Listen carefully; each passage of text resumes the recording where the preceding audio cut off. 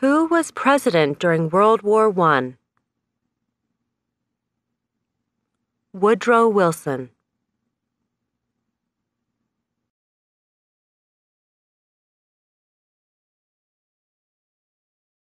Who was president during World War I? Woodrow Wilson.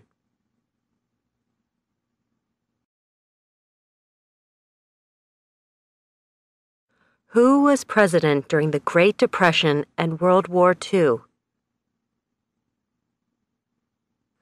Franklin Roosevelt.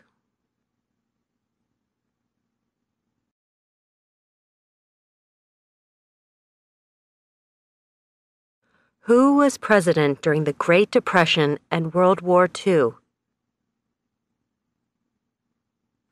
Franklin Roosevelt.